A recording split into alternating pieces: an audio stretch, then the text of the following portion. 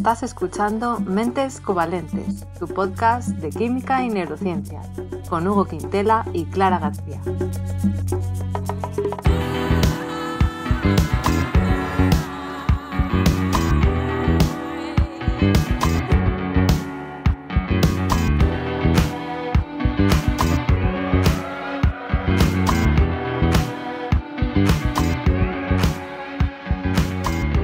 Bienvenidos al episodio 59, en el que vamos a hablar de plásticos. Hola Hugo, ¿qué tal? Hola, muy bien. Cada vez menos estresado. Clara, ¿tú qué tal? igual, igual también, muy poco estresada. No, tampoco es para tanto en mi caso, ¿eh? pero bueno.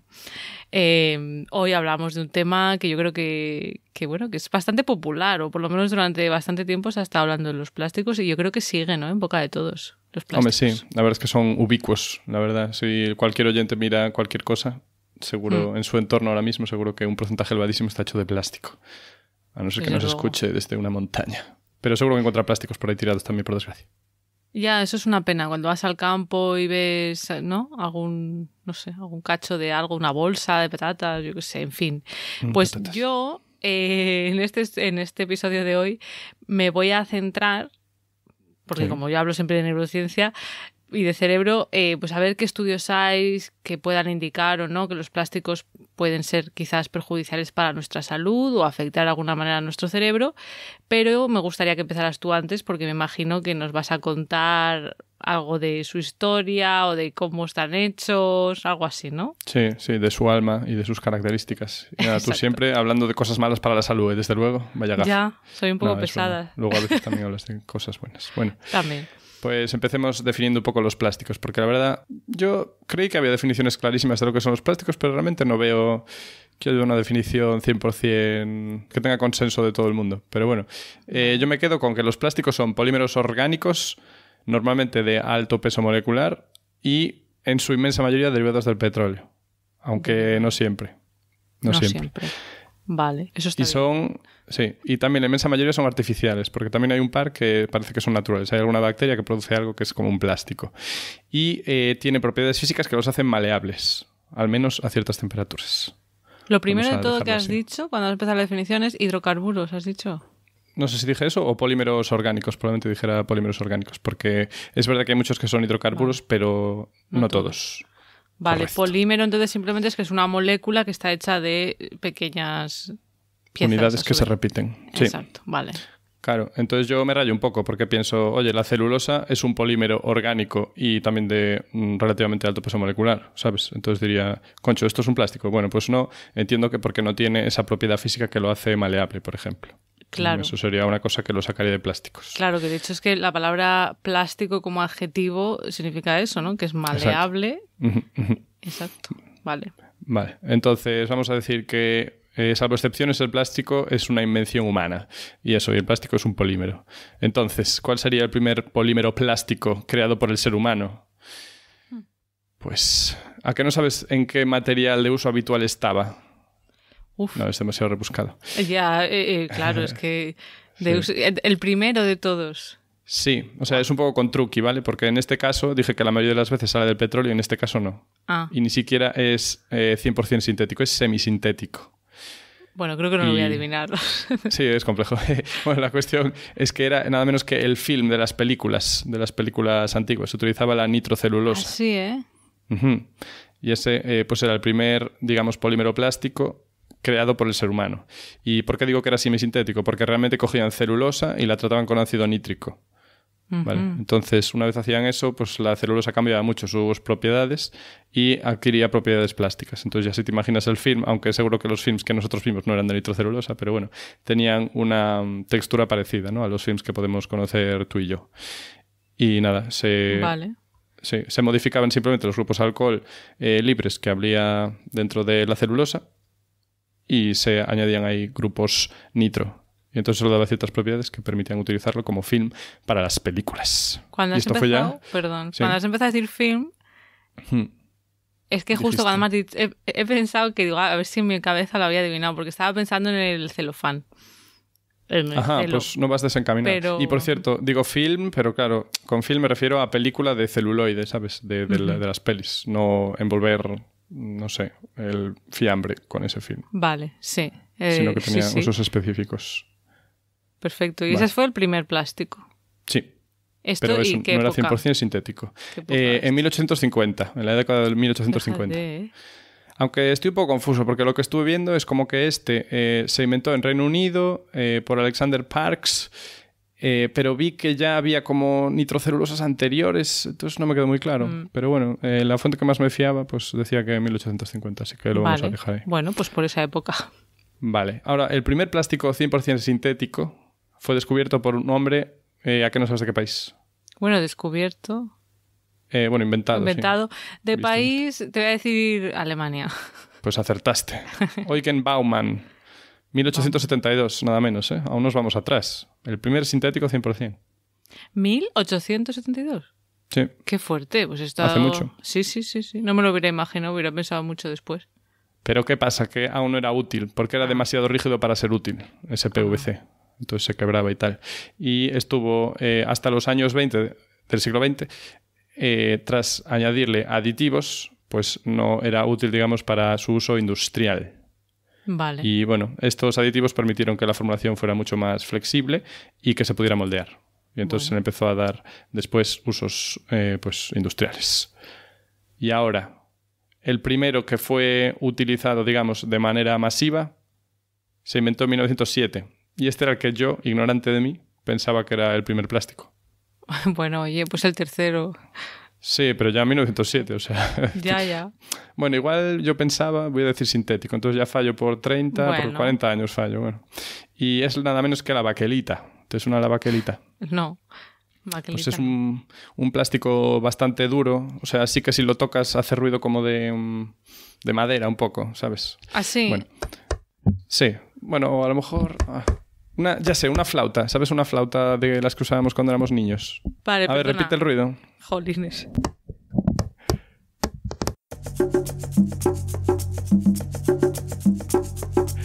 Pues yo diría que sí.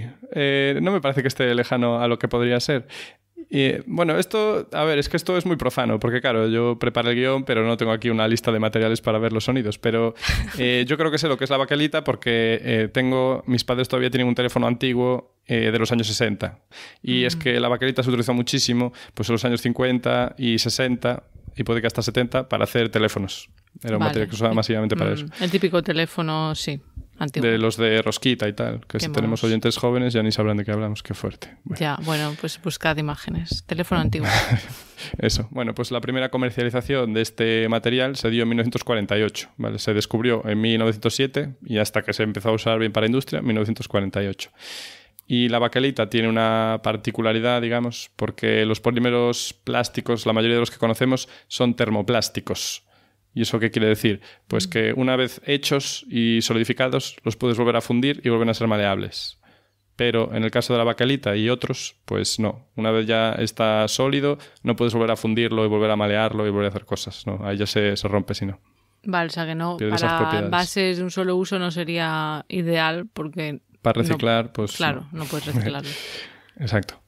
y, y, eso, es un material que es bastante rígido y resistente y que se hizo muy popular pues, sobre los años 50. Y después, ahora viene el que decías tú, el celofán. Ah, mira. Sí. Y también es semisintético. Y surgió en 1903. Y también a partir de la celulosa. Y lo hizo un químico de no sabes qué país. Suiza. Dios, estás a tope. ¿En serio? Sí, sí. Eh, premio Gordon para claro. Qué bien. Eh, a por, el bote. Brandenberger y se obtiene también por tratamiento de celulosa, que se sacaba, bueno, que eso no lo dije antes, de la madera o del algodón. Y es sencillo porque lo tratas con sosa cáustica y luego con disulfuro de carbono, que es como CO2, pero con azufre en vez de oxígeno. Lo que todos tenemos en nuestra despensa. Sí, creo que es bastante toxiquillo, así que mejor si lo ah, tenéis que lo dejéis en el bote. Y, y, nada, y se forma un tipo de molécula que se llama xantato. Xantato. Xantato, suena gallego.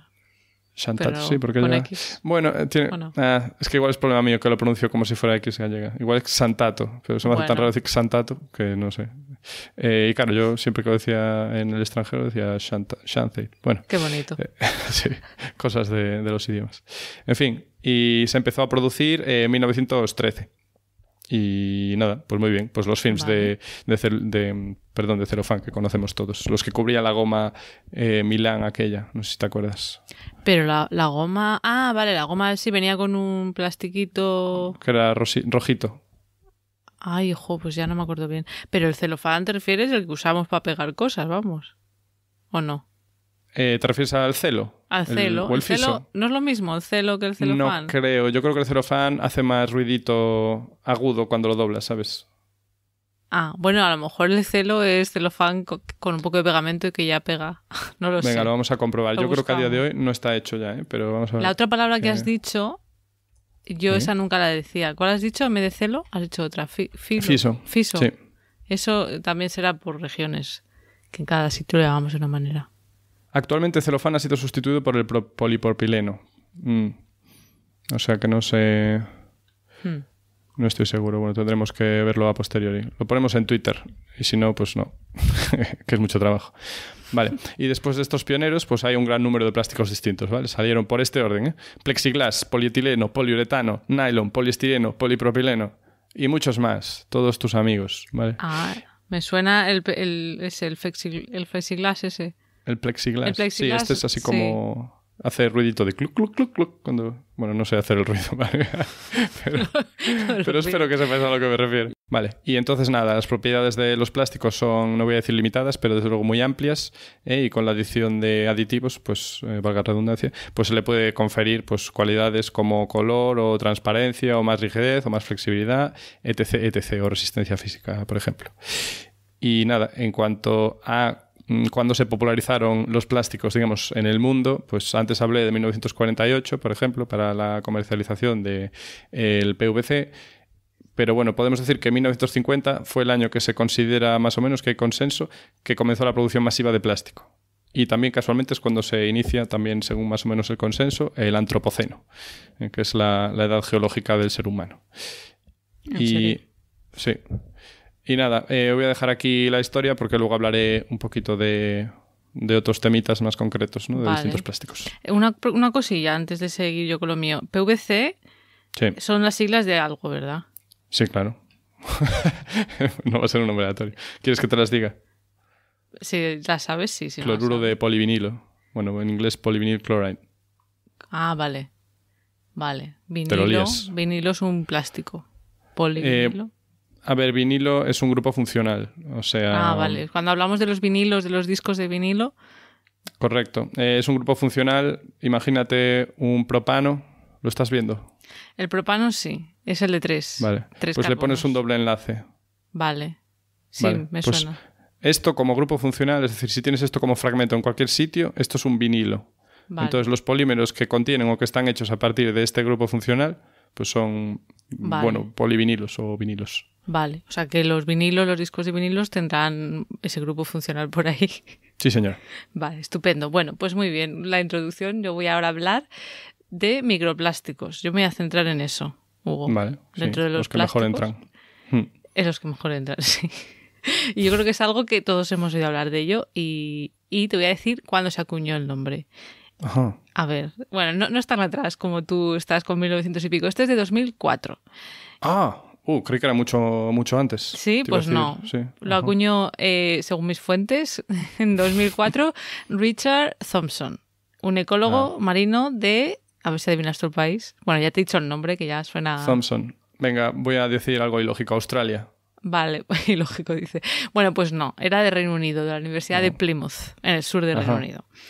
Y luego en 2018, no sé si tú te acuerdas, pero microplástico fue la palabra del año, seleccionada por la Fundación del Español Urgente. Sí, yo estaba ahí, sí. Tú estabas mm. ahí, yo me acuerdo de verlo en la tele.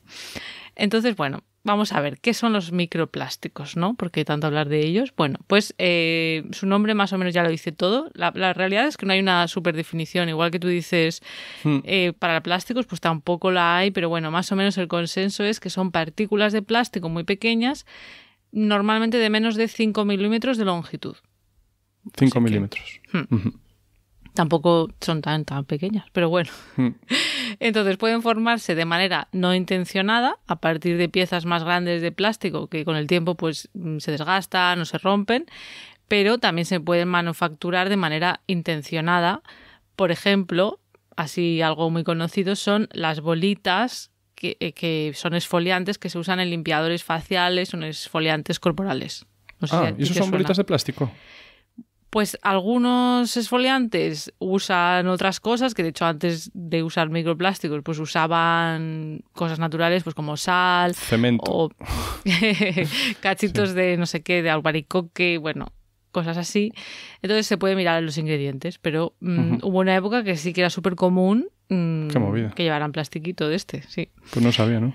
Y la cosa, claro, ahora digo ya que es menos común porque hace, hacia 2013 algunas de las grandes compañías cosméticas y farmacéuticas que fabrican estos productos pues empezaron a quitar las bolitas de microplásticos de manera voluntaria. ¿eh? De estos productos de Ahí. cosméticos, sí, de productos de cuidado personal. Supongo que en un intento de, de lavado de imagen o de, bueno, llámalo X, no sé. O Sí, de hacer, de aportar su granito de arena. Eso. Vamos a decirlo así. Pero después de eso, o sea, em- estas empresas, no sé cuáles, pero algunas empezaron a hacerlo de manera voluntaria, pero después sí que ha habido ya leyes que han prohibido que se usen con este fin en algunos países. Y aquí, según mis fuentes, eh, 2016 eh, fue el primer país, fue Países Bajos, que lo prohibió. Eh, para este tipo de uso, ¿vale? De productos que se usan una vez, se aclaran y eso va todo pues a las Al grifo. tuberías. Exacto. Mm. Y luego ya en 2018 fue Reino Unido y luego se le han sumado unos cuantos países y así recientemente como primer país de Latinoamérica donde se ha prohibido eh, tendríamos Argentina en 2022, Muy bien. ¿vale? O sea que ahí estamos. Y en España no he visto que se haya prohibido. Y la siguiente en caer será la purpurina. Ah, la chan, chan. La purpurina, con lo bonita que es. Porque tiene microplástico también. Eso también es plástico, Sí, sí. sí. claro. Ay. Pues, ay, ni que yo la usara. ¿Cómo voy a salir a la calle? ¿Cómo voy a salir? No, bueno, en fin. Em, pero hay que tener en cuenta que las bolitas de los esfoliantes, por supuesto, no son las únicas culpables, la única fuente de microplásticos, ¿vale? Mm. También, por ejemplo, son las ruedas de los coches, ¿no? Con el desgaste. Ujú. Y también, muy importante, las microfibras sintéticas que se desprenden de la ropa, con el uso, con los lavados, puf, a tope. Es que es muy complicado. Porque dices, ah, pues yo uso todo algodón. Pero claro, el gasto energético de algodón y de agua. Ay, no Uy, ahí yo ya no lo sé. Estoy todo mal, todo mal. Eso habría, habría que leerse muchas cosas y no lo sé. ¿Qué, qué es mejor? Ya, si una cosa. No, yo ya te adelanto. Claro, los plásticos tienen un coste energético muy bajo. Ya, Es ya, maravilla. claro, pero. Pero Claro, Claro. en fin. Entonces, ¿por qué hay esta preocupación con los microplásticos? ¿no? Porque a lo mejor lo hemos oído, pero yo, yo no lo tenía súper, súper claro. Sí que había visto algún documental, pero. Bueno, vamos a ver. Los científicos llevan unos 20 años ¿eh? hablando de su posible peligro. O sea, antes de que se inventara la palabra, ya casi, eh, ya se estaba advirtiendo. Y estos mm, plásticos pequeños pueden ser peligrosos. Pero la mayoría de los estudios se han centrado en los riesgos para la vida marina, sobre todo, más que para que los son los que más se los comen, claro. Bueno, al final va todo a parar al mar, supongo Mm, que será por eso. Entonces, bueno, se han encontrado microplásticos en todos lados, desde las profundidades del océano, porque claro, pues por gravedad, no supongo que va cayendo, eh, a hielo en la Antártica, en moluscos, en la sal de mesa también, en agua para beber, en cerveza. O sea, Ah. se han encontrado en muchos sitios. Esto hablando de, bueno, sí, sobre todo he hablado de mar, pero bueno, ya vemos cerveza, pues no sé. No Cerveza de mar, mi preferida. Ay, como la Eh, cerveza de Percebe. ¿No ¿ah, sí? No, no la he probado, no sabía ni que existía eso. No estaba mal. ¿Sí? No voy a decir qué marca la sacó, pero No, no, interesante. Vale. Interesante sabor. Muy bien. Yo en su día probé de fresa y de plátano y cosas así. Pero Uy, bueno, qué- a y de mí, mango. a mí no me Riquísimo. gusta la cerveza, por eso he probado estas No, cosas. a ver si te gustaba, pero no. Pero ya hemos dicho en el episodio de... ¿Qué episodio? En el del alcohol y no sé en cuál otro, que estas Sí. cosas, pues bueno. Mejor ni, ni probarla. En el de las mutaciones, tú hablaste de, de los perritos, de que estas Mm. cosas, bueno, pues no son muy buenas para la salud, pero ya lo sabemos todos eso. Bueno, seguimos con los microplásticos. También hay que tener en cuenta que hay mucha diferencia, mucha variabilidad de forma, tamaño, composición química, por lo que investigar sus efectos no es sencillo, porque hay muchas variables en cuestión. Pero los que más preocupan a los científicos son los llamados nanoplásticos, que son más pequeños todavía, claro. Bueno, digamos que dentro de los microplásticos entrarían los nanoplásticos, ¿vale? Vale, es como las tarjetas SD al final. Pues exacto. Entonces, los nanoplásticos eh, serían más pequeños que una micra, que una micra son 10 a la menos 6 metros, pero bueno, lo voy a decir de manera más sencilla para que nos hagamos una idea por si alguien se lea con esto. Una micra sería mil veces más pequeña que un milímetro. ¿Vale? Vale. Entonces, si hay un microplástico que es más pequeño que una micra, Lo pues respira ya. ya se llama nanoplástico. ¿Que no? ¿Qué? ¿No respira? Que digo que ya lo puedes respirar. Ah, bueno, claro, eso es, imagínate. Pero claro, a la vez, como son tan pequeños, eso es más difícil de investigar y requiere métodos más caros porque no puedes estar ahí mirándolo de manera tan sencilla. Entonces, ¿cómo se cree, no? ¿Por qué se cree que los, mm, los nanoplásticos podrían ser potencialmente peligrosos, especialmente comparado con otros más grandes?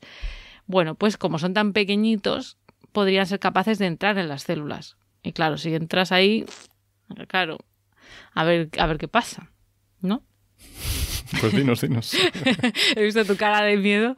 Bueno, pues si son lo suficientemente pequeños para entrar en células o en tejidos, podría ser, estas son hipótesis, ¿no? Que su mera presencia pueda causar irritación. Por ser un cuerpo extraño, el cuerpo lo identifica como un invasor y mmm, podría causar irritación.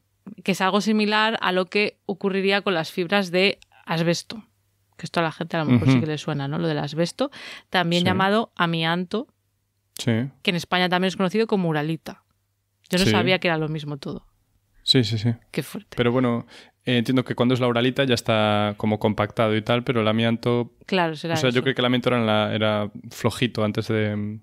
Como bolas de nieve antes de ser procesado. Pero bueno, no sé. No me voy a meter lo sé. Eso ya no lo sé, pero es como fibroso. Sí, pero bueno, la uralita, claro, es fibrosa, pero ya está compacta. Es como... Puede ya- ser. bueno, ya sabes, los tejaditos de Sí, uralita. sí, los tejados uralita, hermosos, claro. Súper hermosos, que llenan el país Ya con su tú. hermosura y Pues nos ya ves. la cara. Bueno, pues el, el asbesto en su día, bueno, pues ha sido muy conocido por, por los peligros para la salud. Entonces, podría ser algo parecido, ¿no? Que un microplástico, por su mera presencia en, en las células, pues causa una irritación, una respuesta del cuerpo, y eso, pues esa inflamación sostenida en el tiempo, pues puede dar lugar a muchos problemas. Pero también se ha comparado, por ejemplo, lo que pasa con los microplásticos o los nanoplásticos en este caso, con la contaminación atmosférica. No nos tenemos que ir al asbesto, porque las partículas provenientes, por ejemplo, en este caso, eh, de contaminación atmosférica, de tubos de escapes y demás, pues eh, que también son muy pequeñitas, pueden tener entre 3 y 10 micras de tamaño, pues se depositan en nuestras vías respiratorias, en los pulmones y pues pueden provocar daño. Pues podría ser que algo así ocurriera con los microplásticos. Pero claro, luego tenemos los que son un poco más grandes. ¿no? ¿Qué pasaría con los microplásticos que no llegan a entrar en las células? Bueno, pues se cree que en ese caso sus potenciales efectos negatilo- negativos, si es que los tuvieran, podrían ser por toxicidad química. Y esto, Vale. lo que he leído es que los fabricantes añaden otros compuestos a los plásticos, como plastificantes, estabilizantes y pigmentos que pueden ser nocivos para la salud. Entonces debe de ser que eso en sí sería, podría ser perjudicial. Vale. Entonces, algunas de estas sustancias, de estos plastificantes, estabilizantes, pigmentos, etcétera, podrían interferir con nuestro sistema endocrino, que son nuestras hormonas. Y claro, ya pues si estás ahí interfiriendo con hormonas, pues pues puedes provocar diferentes daños, ¿no? Según a lo que estés afectando. Pero hay que tener en cuenta que tanto si se ingiere o se inhalen microplásticos, el riesgo en sí a estos compuestos que decía que se añaden a mayores de plastificantes, estabilizantes, demás, dependería de muchas cosas, de muchos factores. Por ejemplo, primero, cómo de rápido los microplásticos atraviesan nuestro cuerpo, cuánto tiempo están en el cuerpo, cuánto tardamos en eliminarlos. Pero luego también cómo de rápido esos compuestos se desprenden de los trozos de plástico. O sea, es que son muchísimas variables. Sí, sí, sí. Entonces, es como que se está empezando a investigar, hay hipótesis, se, se entiende por qué podría ser peligroso, pero todavía hay muchas incógnitas. Pero disculpa, entonces todavía no se sabe si son peligrosos. O sea, realmente Bueno, no. Es que yo todo mi, todo mi, todo mi capítulo de hoy va a ser indicando esto. O Lo sea, no me voy a quedar pasar. aquí. Sí, como, como lo- la evidencia que hay, ¿vale? Yo te voy a ir vale. contando. O sea, sí que hay. eh, bueno, te lo voy a ir contando. Sí que hay indicios. Perdona pero... mi paciencia claro, de la juventud. Como, pero, de- pero eso peligroso o no. Claro, hay como hay esa preocupación, pero bueno, te lo voy contando. Entonces, en en plan, la- ¿puedo masticar las tarjetas de crédito, sí o no? no, mejor no, por si acaso. Es mejor siempre precaución. Entonces, en organismos marinos, por ejemplo, el hecho de que se traguen partículas de plástico sin valor nutricional eh, se cree que eso también en sí mismo es malo porque luego no consumen suficiente comida para sobrevivir. Vale, Vale, vale. o sea que es que hay muchos factores, que, pero eso puede ser un plancton, ¿sabes? Puede ser una, un animalito muy pequeñito, no tiene que ser un pescado grande que a lo mejor sí que sigue comiendo. Y luego también se ha visto eh, en peces que los microplásticos podrían interactuar con, con contaminantes ambientales que haya, como metales, imagínate mercurio, o compuestos diferentes farmacéuticos, por ejemplo. Entonces, eh, eso a su vez altera cómo eh, ese mercurio puede afectar, ¿sabes? O sea, es que tiene una Vale. interacción. Sí, sí, sí, claro, interactúa con el plástico y a lo mejor... Hmm. Madre mía, es que es- el ser humano es así, en plan, oye, vamos a, vamos a crear esto y vamos a alargarlo por ahí, malo será que pase nada. Claro, Somos así, sí. Yo creo que es de prueba y error, ¿no? Ensayo, ¿cómo se dice? Ensayo y Sí. error. Entonces, esto es un poco en general las hipótesis de por qué podrían ser malos, eh, tiene un sentido, ¿no? Realmente si son tan pequeños que pueden entrar en las células, etcétera. Y como vemos, sobre todo se ha estudiado en peces y organismos marinos. Pero nosotros pues somos un podcast, ya lo hemos dicho, antropocentrista muchas veces. Entonces Sí. yo luego hablaré de qué sabemos sobre cómo puede afectar a los humanos, ¿vale? Pero te voy a devolver la palabra porque creo que nos vas a Ah, hablar ¿quieres, de más cosas del plástico, de... quieres dejarlo en lo alto, ¿eh? para que Sí. la gente esté ahí, ay, pero que nos cuente más. Exacto. Vale, vale. Pues nada, intentaré ir rápido para que lleguéis a la parte interesante. Bien, yo os voy a hablar ahora de, de la química, de la química de, de los plásticos, porque es lo mío, es lo suyo. Entonces, composición de los plásticos. Se clasifican en dos familias, como comenté antes de refilón, termoestables y termoplásticos. Vale, y nada, recordar que eh, los primeros, o sea, los termoestables, como era la baquelita, ¿os acordáis de la baquelita? Bueno, pues tienen, ¿por qué, por qué no puedes volver luego a calentarlos y que vuelvan a ser así maleables y liquidillos y puedas hacer cosas con ellos? Bueno, pues porque tienen una, una estructura tridimensional, o sea, están altamente ramificados, ¿sabes? No son cadenas con alguna ramificación, sino que en sí ya es todo como una, una red, hay que crear una red. Mm, Y entonces, digamos que eso le confiere a nivel molecular una rigidez que no permite su remaleabilidad. Buah, que me dije la palabra. Sí, la verdad que sí. Y, y eso. Y además de la baquelita, pues otros ejemplos son el poliuretano o la melamina, de los cuales no hablaré más. Y después los termoplásticos se vuelven maleables eh, una vez los vuelves a calentar. Y, o sea, perdón, se vuelven maleables, sí, una vez vueltos a calentar, sí, es correcto. Claro, porque Y- los usas... Claro. Y Bueno, luego los enfrías y se vuelven a poner sólidos, como por ejemplo un bolivic. Eh, Ah, vale, lo- ese tipo de sólido, vale, vale. Un bolivic, sí. Estaba ejemplo. pensando, claro, depende de qué plástico, es que yo no me sé cada uno. Un brick, o sea, un brick, bueno, una botella de leche. Uh, pero claro, un brick, o sea, no un brick. No, dices, no un brick, es que, bueno, es que Claro, en encima... Reino Unido hay pocos bricks, ok. Ya, es que es eso, que luego ca- ca- cambia cada país. Pero bueno, sí, entiendo lo que dices. Un brick está duro, pero si lo calientas, diga, ese plástico se, podría Y reblandecer. lo puedes doblar y luego Claro. cuando se enfría se queda con la forma con que lo doblaste. Podrías hacer un bolivic mm, con forma de ese. Sí, a ver, que era lo que hacíamos eh, en el instituto. Ah. O sea, no de drogas, eh, me refiero que cogías el bolivic, lo calentabas, lo, girabas, Es luego quedaba con una espiralita y ni lo esperabas. Me re- me recordando memorias ahí de estos recuerdos escondidos. Sí, eh, pues quedaba muy bonito, la verdad. Y no se quemó ningún colegio por eso nunca. Vale. Y otros ejemplos de plásticos pues termoestables, o perdón, eh, um, termoplásticos son el polietileno, el polipropileno o el poliestireno. Vale. Y la verdad, la mayoría eh, de los famosos. Sí. Vale. Y entonces, eh, en cuanto a la estructura química, muchos o la mayoría son súper simples. O sea, son en plan, "Pf, qué estructura tan aburrida, ¿sabes? Alguien acostumbrado a crear en laboratorio moléculas complejísimas ahí con sus arcos, con sus cruces, con sus puentes. Ves un polímero y dices, qué aburrido, esto no es más que una Sí. repetición. En fin. eh, pero esto, en esta simplicidad, a veces está la, la clave de por qué funcionan. Entonces, vamos, por ejemplo, a mirar al polietileno, que es el más simple de todos. ¿Tú te imaginas el etileno? A ver, et es dos carbonos. Sí. Eno es que hay un doble enlace, ¿no? El en. Sí. Y realmente no hay mucho juego para más. Y ya está. O sea, es una. Es que etileno eh, no es el nombre eh, de la UPAC, sería Ah. el eteno. Entonces, si te digo eteno, yo creo que ahí mejor. Que la UPAC es la, los que mandan de cómo hay que poner los nombres. Sí, digamos que es la nomenclatura oficial y luego tienes como nombres pues, que vienen de clásicos o nombres uh, que vienen por grupos funcionales. eh, Vale. En fin, no vamos a entrar Vale, en pues el eteno entonces sería sería pues C, que es CH2, CH2.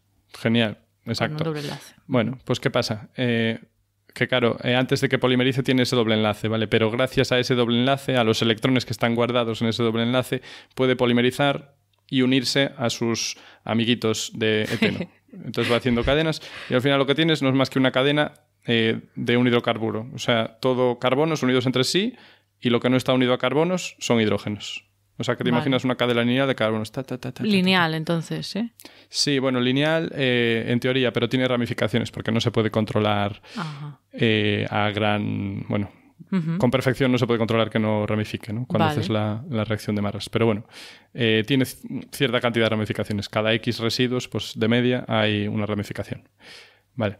Y después, eso es el etileno, pero luego también habrás oído hablar del polietileno de alta densidad o HDPE, High Density Polyethylene. HDPE. Puede ser. O sea, polietileno sí, pero de alta, alta densidad, la gente lo llama así, HDPP. o Sí, se van por la calle y dicen, hombre, estás ahí bebiendo agua en una botella de. A ver, es que el PVC polietileno de sí que es densidad". conocido. La gente se Sí, dice sí. PVC, pero esto no, la gente no habla de esto, ¿no? Eh, pues nada, es el que está normalmente en las botellas de plástico de beber agua. Ah, vale. Vale, Sí. vale, vale. Perfecto. Maravilloso.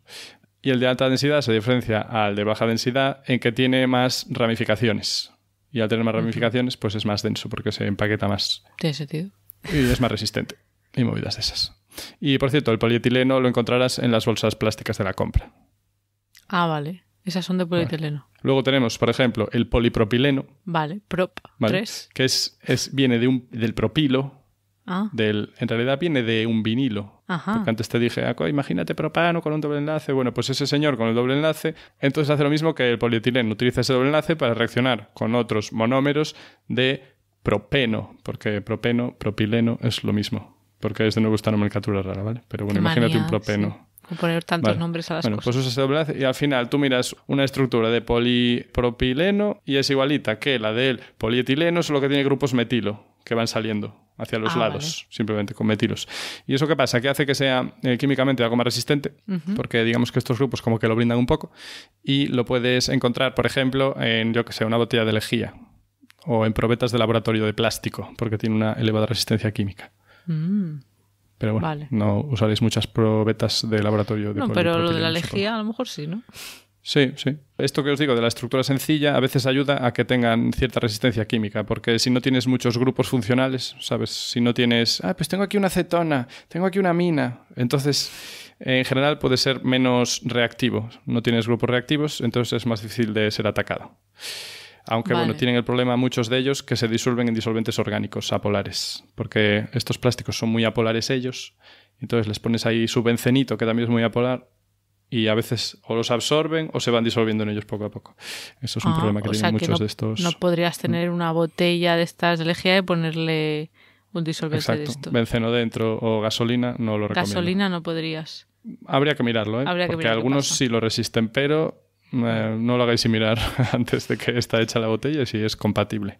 Hay muchas tablas de compatibilidad. En- pondremos en las referencias un ejemplo de una tabla de compatibilidad química donde pues tienes una lista de, de plásticos y luego a la izquierda una lista de sustancias del mundo y te pones si son compatibles o no. Qué fuerte, porque yo nunca me había planteado que si tienes gasolina, por ejemplo, ¿eh? por pensar Mm. algo que podamos tener de este tipo de sustancias que has dicho, que tienes que tener cuidado en qué recipiente de plástico la pones.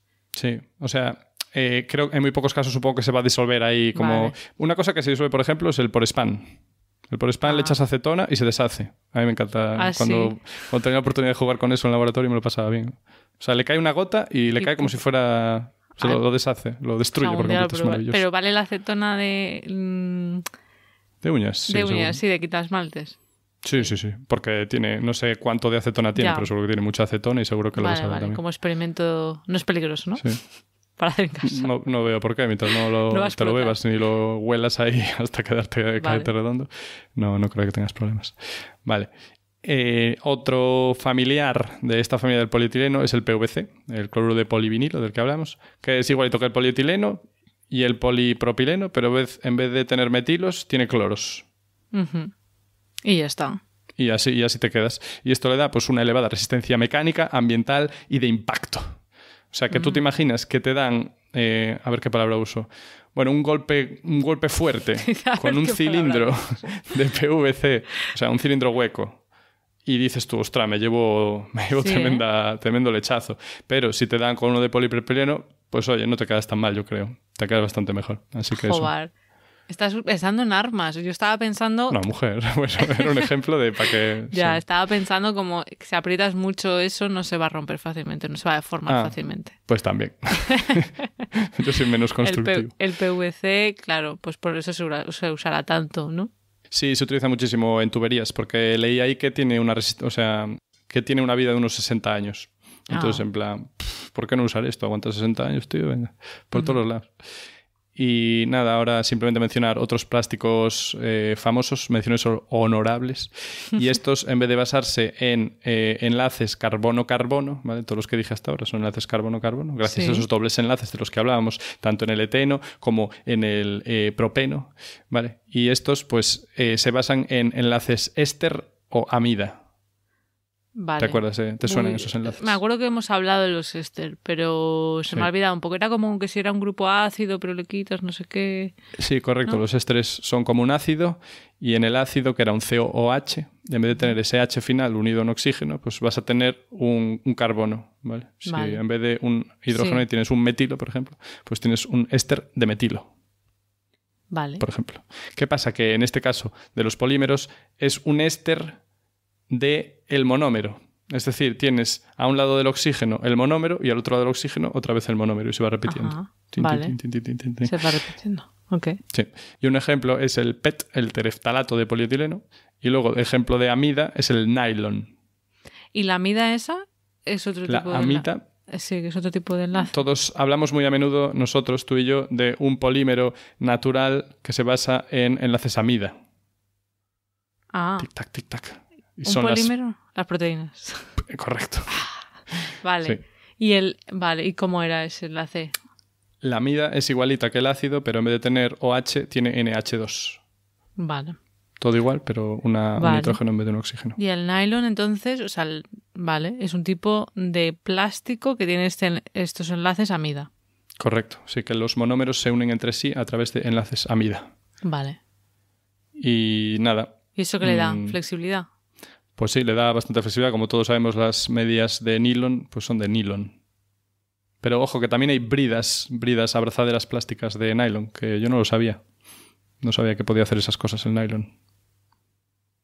Pues ya, Ahora, que si lo haces más grueso, pues se parece más al plástico de toda la vida. Claro, claro. Luego depende de cómo lo hagas, claro. Supongo que es mucho más susceptible de hacer cosas finitas el nylon que a lo mejor el PVC, ¿sabes? A mí me suena que en su día fue una revolución, ¿no? Sí, para la ropa. Sí. y es lo que decíamos antes, claro, el plástico es baratísimo de hacer, luego hablaremos de eso. Y entonces, claro, comparado a hacer unas medias, eh, no sé, de seda, hacer unas medias de nylon, que, ¿sabes? Das una patada y haces millones de toneladas. Ah, pues claro, claro, porque estarían las de seda. Claro, yo me estaba imaginando leotardos gordos. bueno, también. Pero bueno, ya las propiedades son distintas. Claro, claro. No, claro, habría de seda, pero de seda serán carísimas, supongo. Es que no las he visto nunca. Finalmente, una simple nota en cuanto a lo que dije de que son resistentes a químicos. En general, son súper resistentes al agua todos estos plásticos porque la repelen, porque son hidrófobos, no tienen eh, o no suelen tener dipolos fuertes ni nada, entonces el agua eh, les da igual. Pero hay que tener cuidado normalmente con, por ejemplo, la luz del sol. O sea, los plásticos si los pones continuamente bajo la luz del sol, al final van generando radicales.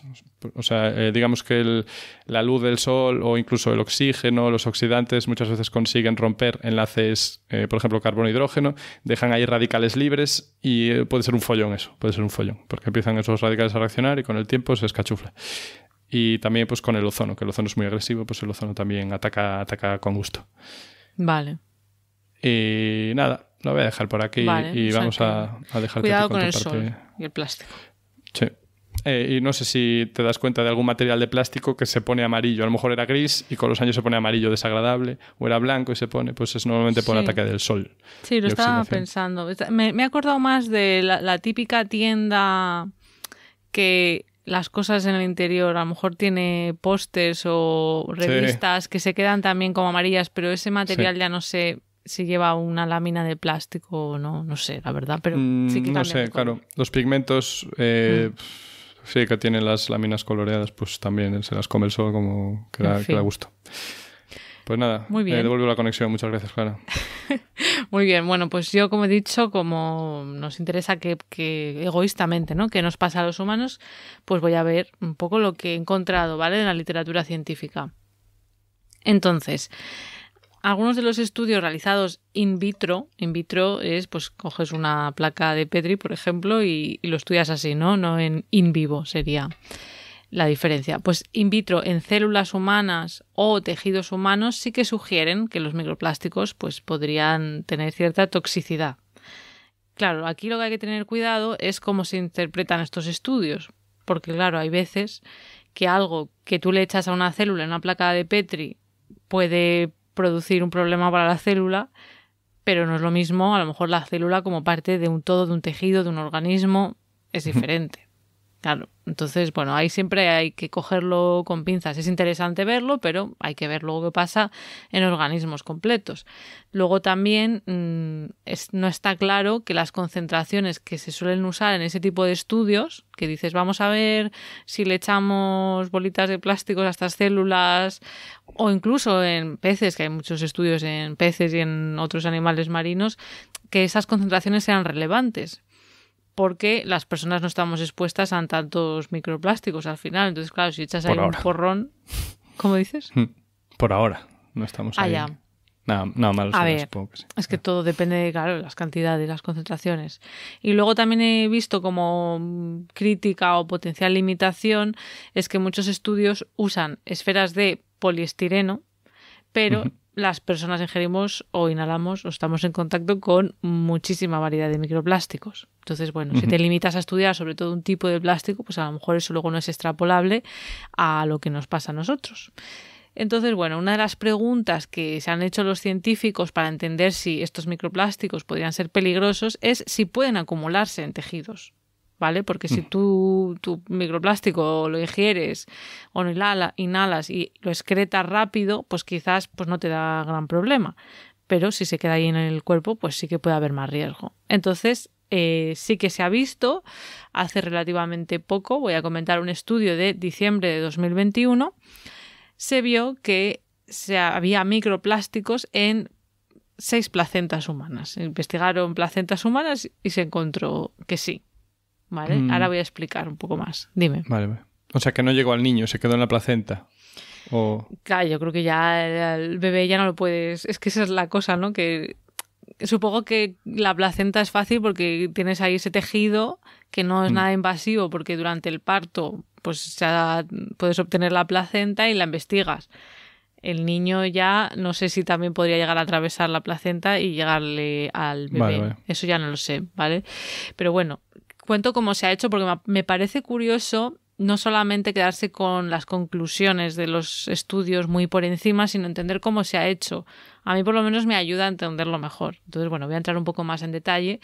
Claro, estas placentas, yo cuando lo he leído, placentas, digo, pero ¿cómo se ha hecho esto? Claro, una vez ya paren las mujeres, se recogen esas placentas, se cortan en cachitos. Van unos doctores rata y se llevan la placenta. se cortan en cachitos las placentas, se congelaron y ya después se analizaron con una técnica que se llama microespectroscopía de Raman. No sé si te suena, a mí no me suena. Sí, sí, con las Stokes o las anti-Stokes, depende. Ah, pues eso ya, ahí ya no sé. Entonces, esta, esta técnica permite evaluar si hay presencia de microplásticos. ¿Vale? Entonces, luego, algo muy importante que puedes pensar es, claro, ¿cómo te aseguras tú de que si encuentras plásticos o microplásticos sea porque estaban ya ahí y no porque los has contaminado tú? Claro, eso es muy importante. Entonces, sí, tuvieron un super protocolo libre de plásticos en este estudio para evitar la contaminación. Entonces, claro, desde el personal sanitario presente durante el parto, que tuvo que utilizar guantes de algodón. ¿vale? Oh, Claro. qué Luego- poco práctico, ¿no? Claro. Guantes de algodón. Pues imagínate, bueno, en fin, pues se comprometieron para este estudio. Luego también toallas de algodón en las camillas. Luego las placentas se depositaron en bandejas metálicas, ¿no? Faltaría que la pusieras en una de Y plástico. las mascarillas que eran de, de rejilla de Tam- metal. Pues también he leído que de algodón. Y luego en el laboratorio, ya donde se analizaron las muestras, pues también se llevó un super protocolo para evitar la contaminación, con batas de algodón, limpiar las superficies con etanol al 70%, filtrar los líquidos que se usaban para las soluciones. O sea que se hizo bastante bien. Pero, por lo que he leído, no, no estoy dando mi opinión, sino lo que comentan otros autores, es que aún así es imposible estar seguro de si esos microplásticos que encontraron estaban ya en las placentas o llegaron por contaminación ambiental. Porque Jolín, a lo mejor están flotando por el aire, yo qué sé, ¿sabes? qué difícil. Sí, muy difícil estos estudios. Luego, otro estudio también reciente, ya un poco después de este que comentaba de las placentas, este está publicado en mayo de 2022. Aquí se encontró por primera vez partículas de plástico en sangre humana.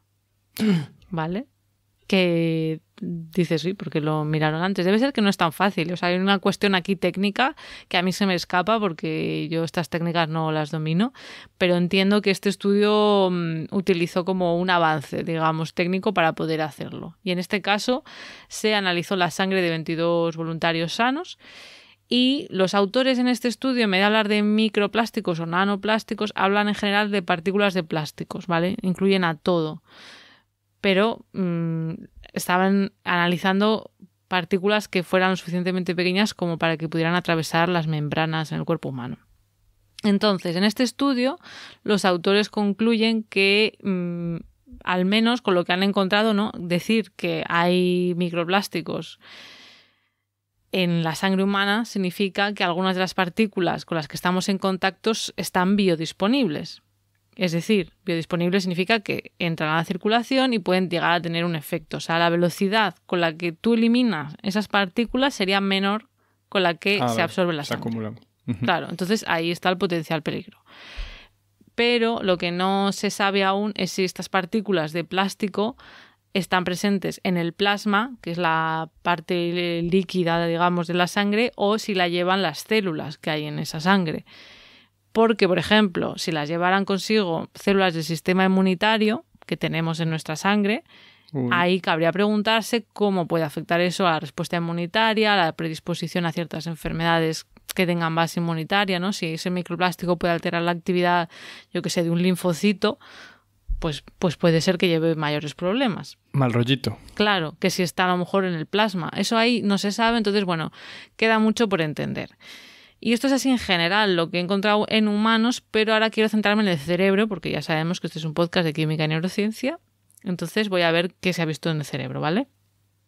Entonces aquí voy a mm, incluir también otras especies, porque así nos ayuda también a entenderlo. Se ha visto en peces, que ya hemos dicho que es lo que más he estudiado, que los microplásticos pueden causar neurotoxicidad mediante varios mecanismos. En concreto, porque yo creo que también ayuda a entender de, ah, vale, pero ¿cómo? Un plástico, es que, ¿no? Piensas un plástico ahí inerte, ¿cómo puede hacer eso? Bueno, pues uno de los mecanismos que se ha encontrado es la inhibición de la acetilcolinesterasa, que, mm, como su nombre indica, más o menos, ¿vale? Sería una enzima que degrada la acetilcolina, que es un neurotransmisor.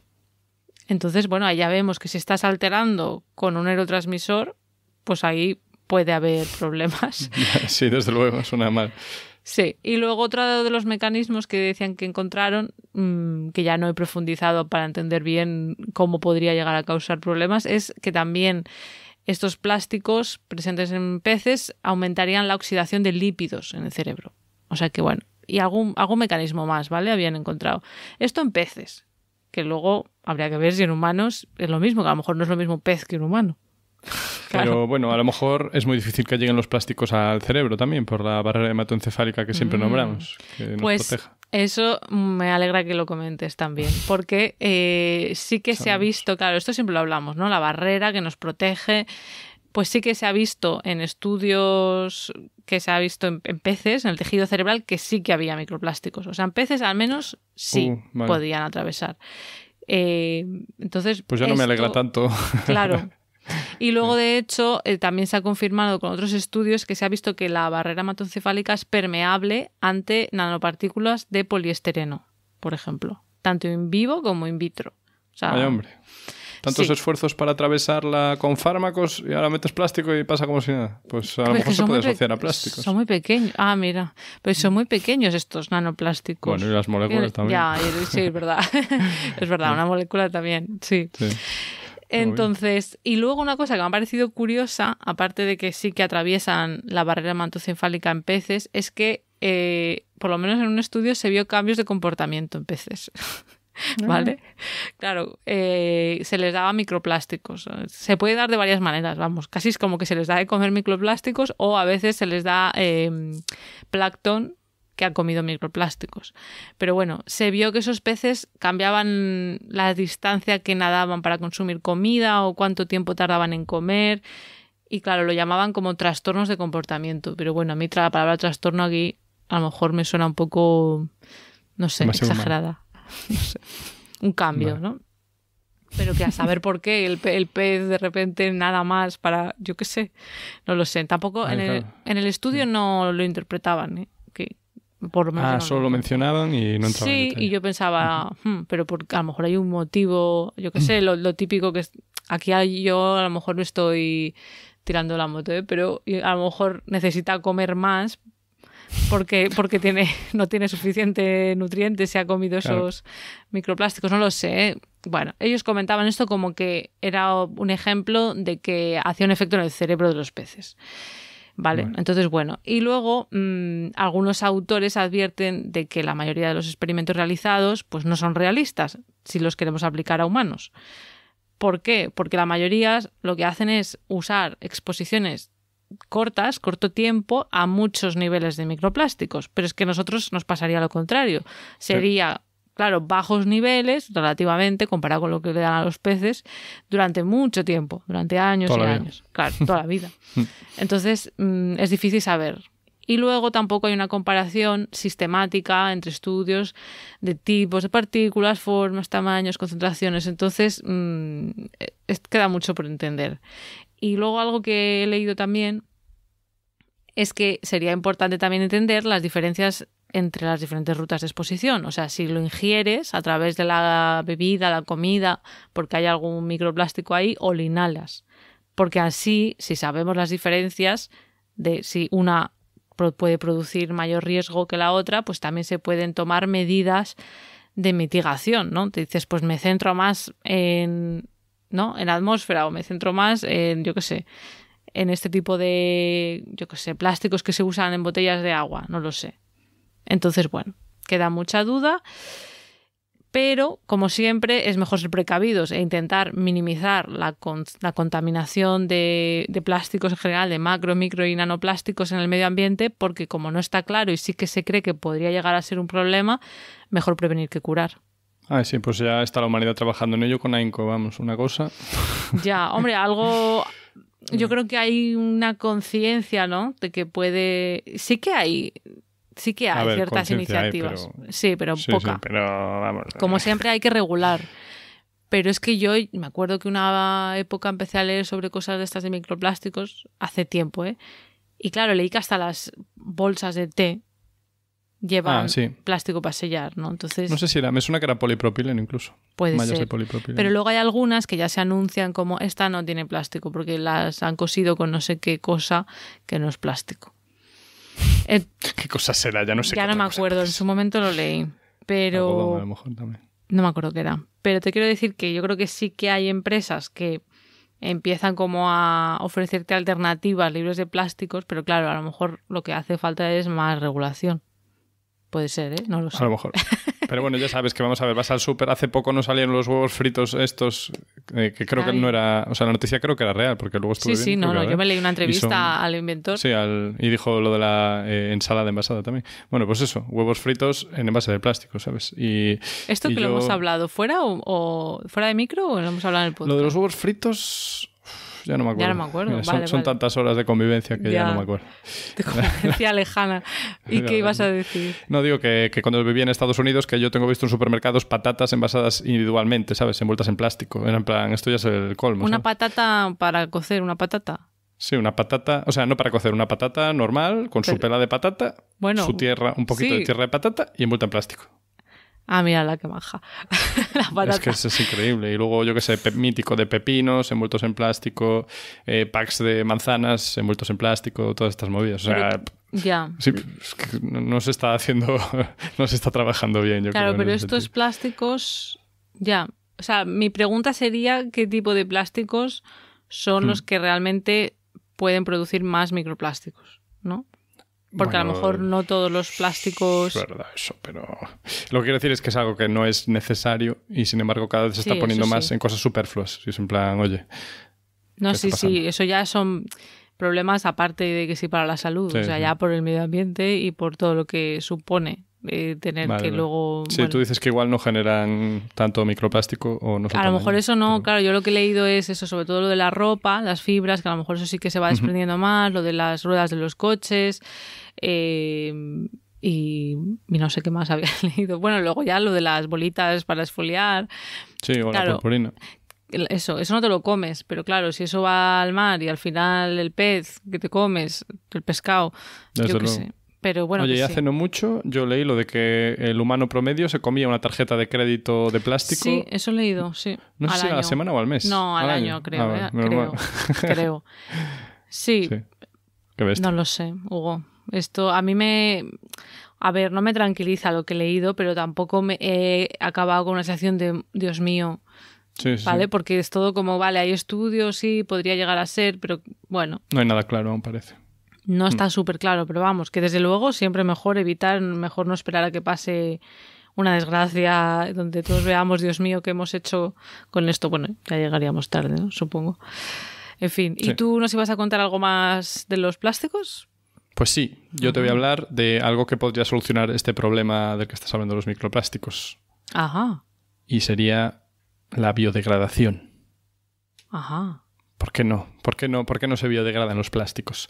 Bueno, Ya. como ya dijimos, la mayoría de los plásticos son derivados del petróleo, ¿vale? Y muchos de ellos también son hidrocarburos, o al menos sus bases son hidro- hidrocarburos. ¿Por qué no son entonces biodegradables? O sea, sé, ¿por qué ningún organismo, en principio, vivo puede comérselos, romper sus enlaces, deshacerlo, incorporar esos carbonos que lo forman a su, a su ser? Bueno, claro. pues. A ver, la razón es básicamente que son compuestos ajenos a la naturaleza. Entonces, por lo tanto, prácticamente ningún organismo eh, tiene enzimas que le permitan comer algo porque a nadie le valía para nada comerse algo que prácticamente no existía. Y digo prácticamente porque, bueno, sí que existen hidrocarburos en la naturaleza. Eh, incluso hay algunas bacterias que sí que tienen enzimas que pueden digerir algunos plásticos, pero no darían abasto. Ya, digo, eso me sonaba van- algo de unas bacterias. muy- No dan abasto, no son la Sí, solución no las da abasto, bacterias. Va muy despacito. Qué pena. Eh, entonces, eh, yo leyendo esto, yo me planteé, oye, ¿y por qué no usar la evolución dirigida ya. para que eh, los organismos se puedan comer los plásticos? Entonces dije, vamos a ver qué hay en el Internet sobre esto. Algún experimento. A ver, a ver. me puse a mirar y yo no fui el primero, no fui el primero que pensó esto. Y yo, ay, qué rabia, Ay. ya podía hacerme famoso y que me dieran Premio Nobel". Nobel. Eh, entonces, en cuanto a la evolución dirigida, eh, hay que explicar un poquito lo que es. Como sabemos, pues los organismos evolucionan un poquito ¿no? por adaptarse al entorno. Entonces, en teoría, los mejor adaptados sobreviven más y son capaces de eh, propagar sus genes ¿no? a la siguiente generación. Y entonces esos genes, esas características se van haciendo más comunes. Bueno, pues en la evolución dirigida tú tienes unos organismos y los cultivas en placas Petri y entonces les manipulas el ADN y dices, oye, voy a cambiar aquí esta secuencia, este trocito, para que la proteína, eh, la enzima para digerir plástico, pues le cambie un aminoácido. Y simplemente voy a hacer eso y voy a ponerle todos los aminoácidos posibles. Y voy a cultivar esas bacterias por separado.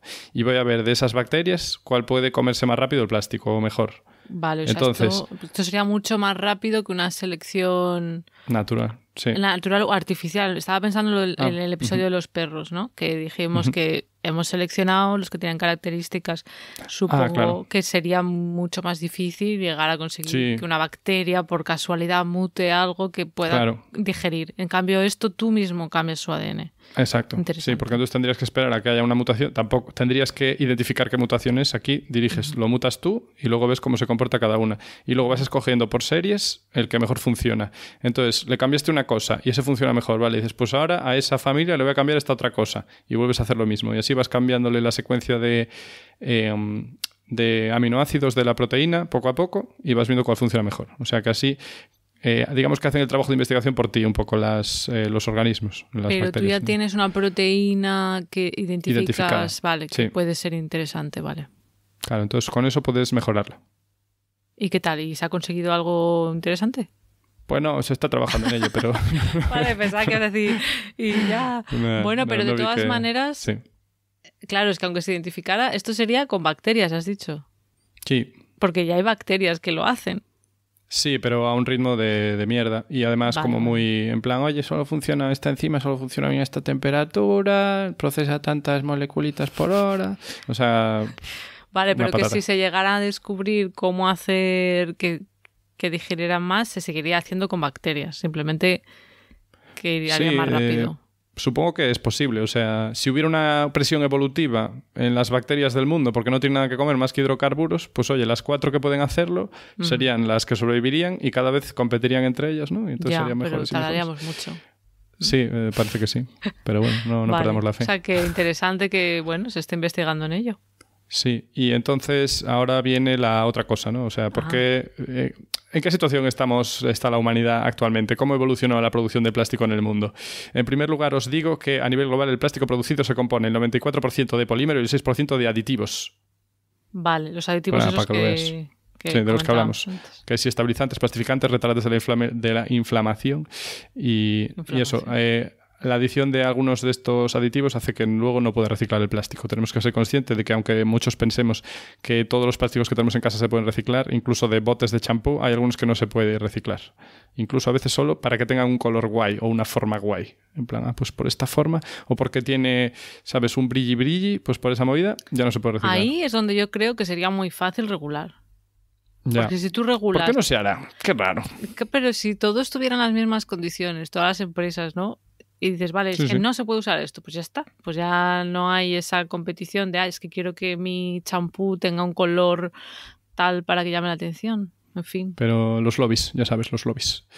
Vale, entonces para eh, eso, producción. En el año 2017 se habían producido 10.000 millones de toneladas métricas de plástico. Vale, me quedo, No sé cuánto es eso, pero suena muchísimo, tío. me quedo como bueno, no me lo imagino. Y de estas, el 92% venían de combustibles fósiles y solo el 8% de plástico reciclado. Así que muy mal. Y de todo el plástico generado por la humanidad, el 10% es reciclado y el resto no. ¿El resto no? ¿Se recicla? Sí, el 90% no. Madre mía, pues tendremos un vertedero. Y luego, la producción de plástico aumentó a un ritmo del 15% anual desde los años 50 hasta los 70 y luego bajó ese ritmo y desde los 50 hasta el siglo XXI aumentaba de media un 8,3% cada año. Esto no es un incremento logarítmico, o sea, no es exponencial, pero es eh, polinómico. Bueno, o sea, que tira para arriba muy rápido, pero no es, eh, no es exponencial. Como por ejemplo pues, la población humana hasta ahora, ¿sabes? Que es un aumento exponencial. Se estima que en 2040 la producción de plástico se habrá doblado con respecto a 2018, que no se producía poco precisamente. Pues vamos mal, ¿no? Si vamos a doblar. Vale. ¿Y esto por qué pasa? Porque la verdad, los plásticos lo invaden todo. ¿Pero por qué lo invaden todo? Pues porque, porque son la leche, son súper baratos y son una maravilla. Porque es que tienen propiedades mágicas, puedes hacer con ellos lo que quieras, los puedes poner en la forma que quieras y no cuesta nada hacerlos, ¿vale? ¿Y por qué cuesta tan poco hacerlo? Bueno, pues porque vienen del petróleo. El petróleo es caro, está más caro, pero sigue siendo muy barato. O sea, ya, se ha subido, bueno, ha habido unos meses que ha subido mucho. Y claro, si lo comparamos con el precio de la gasolina, eh, tenemos que pensar que la gasolina no es petróleo crudo, ¿sabes? Ya está craqueado, refinado y luego más los impuestos. Entonces, el petróleo sigue siendo baratísimo. ¿Y qué pasa? Que cómo se producen los plásticos, al menos los que vienen del petróleo. Tú coges, bueno, tú coges el petróleo, como decía, haces el craqueo, que es romper las moléculas complejas en moléculas más simples y luego lo destilas. O sea, juntas todo el etileno que dijimos antes. Entonces lo pones en una pota gorda y nada, le pones calor y lo más importante, que es lo que permite de hecho que se produzcan los plásticos, catalizadores organometálicos. Chup, chup. Exacto, los catalizadores organometálicos son esa magia de combinación entre un metal y compuestos orgánicos de química orgánica que nos permiten hacer mm, casi magia química. Y entonces, ¿qué pasa? Que, oye, el catalizador no es súper barato, pero es que estos catalizadores son la leche, porque los puedes usar sin que se estropeen durante miles y miles de ciclos. O sea, un solo catalizador te transforma millones de moléculas y aquí no pasa nada. Entonces le pones un poquito de catalizador, eh, le pones la temperatura adecuada y, nada, te va generando miles y miles y miles y miles y miles de moléculas de producto. Tenemos un episodio sobre los catalizadores Correcto. con Lucas. El 3. Diría que el capítulo 3. fue? Sí, ¿no? Hace mucho ha llovido. Pero entonces... Bueno, a lo mejor eso no, no, no tienes esa información, pero claro, lo que no entiendo, vale, tú dices, sí, se usan mucho, se van a duplicar su uso, son baratos, y tal, pero yo me imagino que la mayor parte de los plásticos no es de la industria alimentaria, ¿o sí? Oh. que será, claro que los usos... No creo. Que a lo mejor hay, a lo mejor hay cosas que serían fáciles de evitar. Ah, bueno, claro. Que la gran mayoría de plásticos me imagino que no son tan fáciles de sustituir por otra cosa.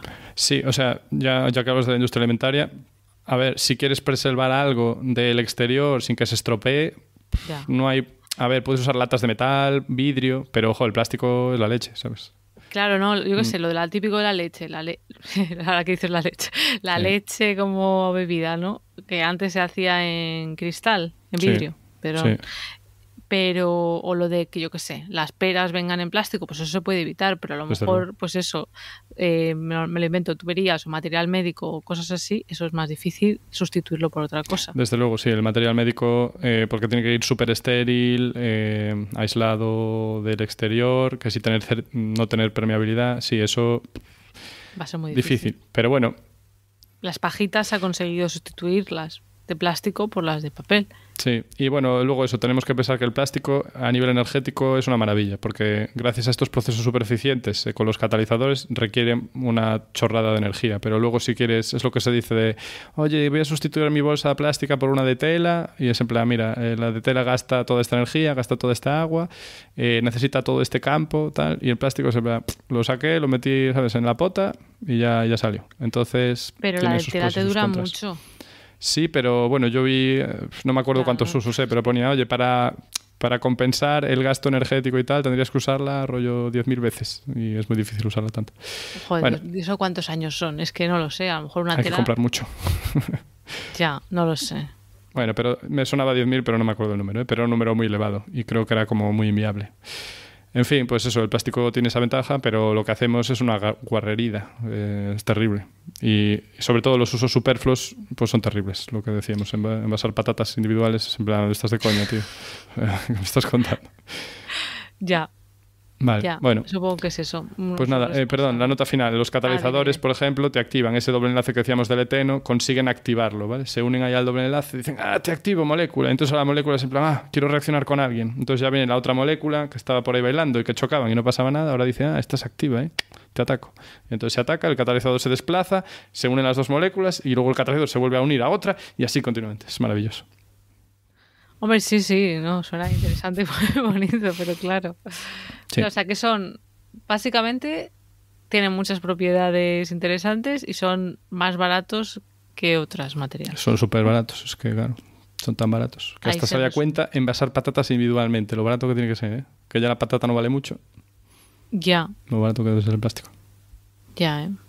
Bueno, pues nos hemos hecho una idea. No sé si hemos llegado a una conclusión. O sea, tampoco es nuestra labor en realidad, porque no somos un no somos un podcast de medio ambiente y sostenibilidad y no, no nos hemos centrado en eso, sino bueno, esto es lo que hemos encontrado respecto a nuestras disciplinas, ¿no? Suyas son las conclusiones. Exacto, dejamos a los oyentes que interpreten. Bueno, pues ¿te parece que lo dejemos por aquí? Por favor.